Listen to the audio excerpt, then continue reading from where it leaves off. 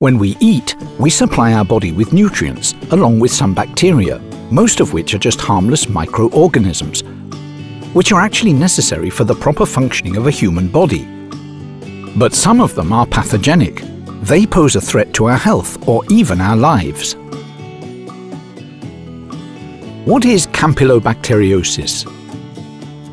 It's a disease caused by an infection by the Campylobacter bacteria.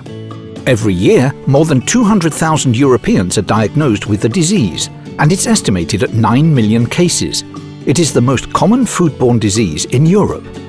It is estimated that it causes 2.4 billion euros of damages in the European Union each year. The main symptoms of campylobacteriosis include severe gastroenteritis accompanied by fever, weakness, pain in the stomach and the intestines, diarrhea, how can you get infected with Campylobacter? The bacteria dwells in the digestive tract of birds and mammals. In Europe, it is mostly carried by poultry. Infection is possible by eating raw or undercooked meat, impure milk or water. It's very easy to become infected, as many as 30% of infections are caused by improper handling of raw meat.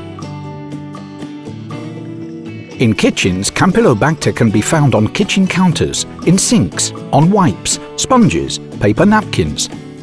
How to avoid a Campylobacter infection?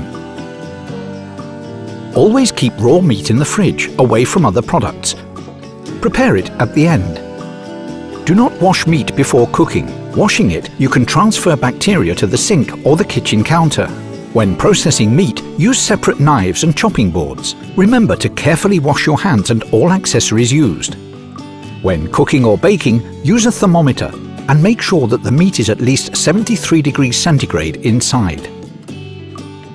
Do we follow these rules? A study of consumer behaviour in Poland, Spain, Italy and Germany, conducted in 2019, showed that more than 68% of respondents are aware that improper handling raw meat can cause the spread of bacteria in the kitchen.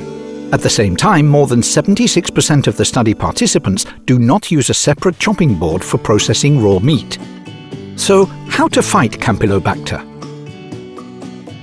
In the past, currently banned antibiotics were commonly used in animal farming, this caused increased resistance among types of bacteria to antibiotics, which leads to 25,000 deaths per year in the European Union alone. One of the contemporary strategies is using selected bacteriophages, specialized viruses which can attack and eliminate certain groups of bacteria. In surveys conducted in 2019, Consumers and poultry manufacturers from Poland, Spain, Italy and Germany expressed their approval to using bacteriophages in food production.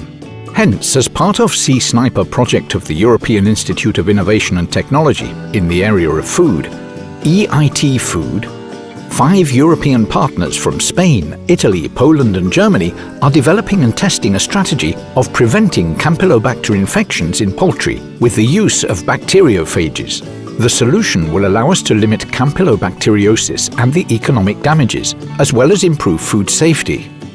What has been achieved so far? We have characterized Campylobacter bacteria which occur in Spain, Italy and Poland. We have selected bacteriophages which fight bacteria in laboratory conditions. We have demonstrated the activity of bacteriophages in the digestive tract of chickens. What's ahead of us?